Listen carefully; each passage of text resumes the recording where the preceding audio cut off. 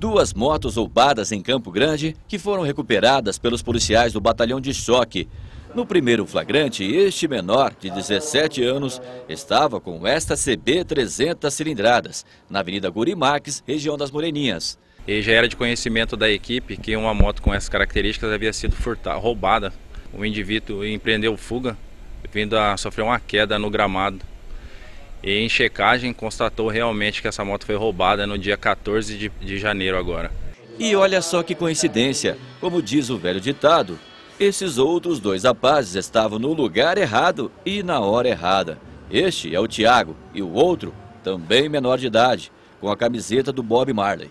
Durante o registro da primeira ocorrência, os policiais viram a dupla na Titã Vermelha, com o farol apagado. A equipe foi dividida, alguns integrantes ficaram na primeira abordagem e os demais foram é, no acompanhamento tático aí.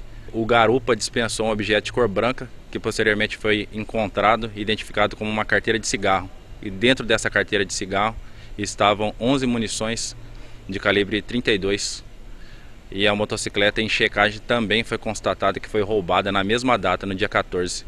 Para nossa reportagem, o Tiago falou que pagou mil reais pela Titan lá na região do Los Angeles, mas alegou que não sabia que o veículo era roubado. Eu comprei essa moto aí foi para trabalhar mesmo, mas não foi em roubo não, momento algum.